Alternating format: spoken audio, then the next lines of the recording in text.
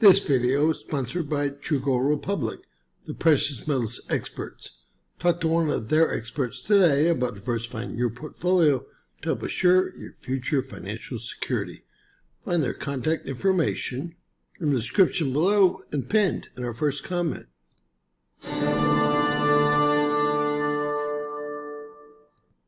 James Kaufman World News Report today, June 12th, 2024. God bless you and yours no matter where you are in the world.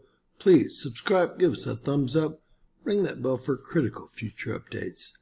As most of my subscribers and viewers know, ladies and gentlemen, we had the system shut down for recalibration today.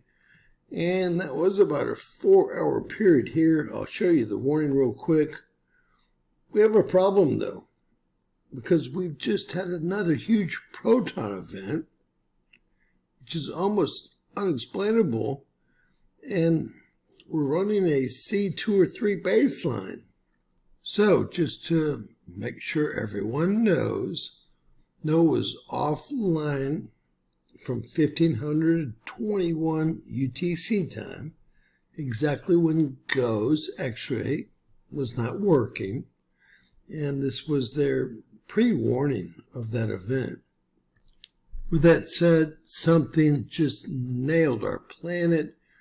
It looks like a filament eruption or a solar flare. Our space weather conditions threshold may or may not be met, but this was a big blast to even move the proton flux like this. A very big blast. The problem is, is nothing shows up on GOES. Or does it? It looks, I wonder what that square there is. It looks like there was a huge eruption. And a very huge eruption over the last four or five hours. Now remember, I'm always first and I use the actual words that need to be used in the sentence. All right, so here we go for our D region absorption prediction center. And we're actually trying to go back into a, we are going back into a polar cap absorption event with no flare or filament showing up on GOES. Although they did have it turned off for four or five hours, as I showed y'all. This is ongoing. It continues hour after hour after hour. Wow, is all I can say. And let me say, what's interesting is we don't see an impact. Let's see if there's some time missing or something. No impact whatsoever.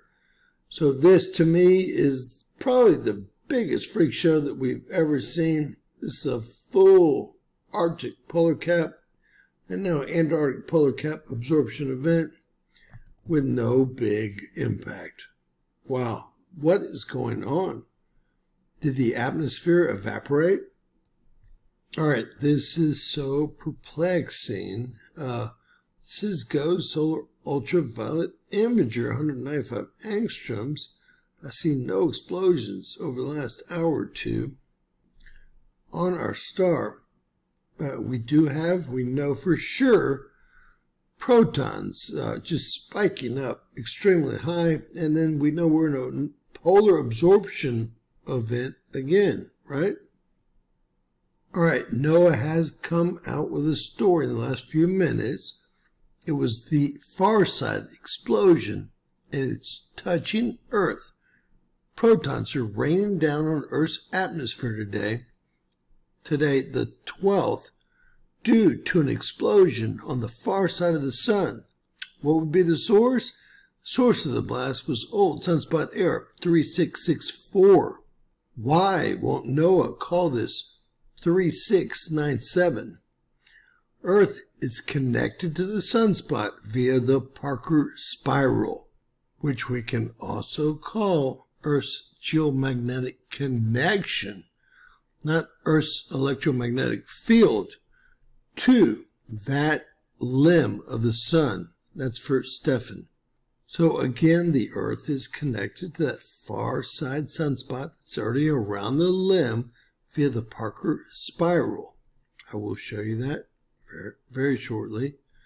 The Parker spiral guides energetic protons from the far side of our sun to Earth.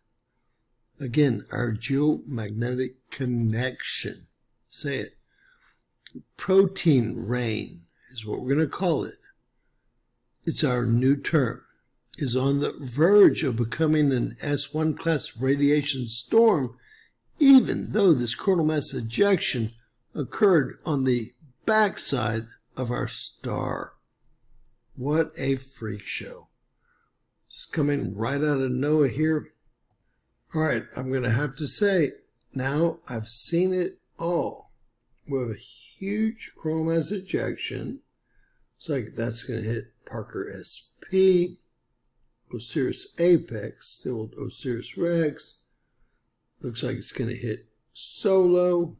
And it looks like we have a hard hit on Mars as well, but away from Earth.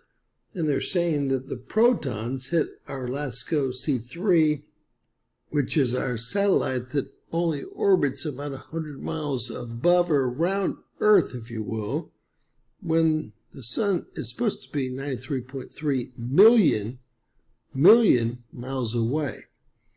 So this is a hard equation to swallow here. So for me, the hardest thing to swallow here is that we're in a polar cap absorption event again. Radiation is pouring into our poles from an event that happened on the other side of our star. If I sound confused, it's because I'm more than confused, and I definitely don't like the, well, time out, if you will, or recalibration of the models during this exact time period. This is a total freak show. Now, with all that said, let's all get together and hope that was not 3702, which is actually already shown activity here. If it was, we're in a lot more trouble than we hoped for. What a strange event we've seen tonight. A solar flare going in the opposite direction, causing a proton storm here on Earth and a polar cap absorption event, although it was, well, headed the opposite direction from Earth. All comments and well, questions are more than appreciated in the comments below. Uh, please share our videos, guys. Please subscribe and always remember anything's possible in Bizarro World. God bless you.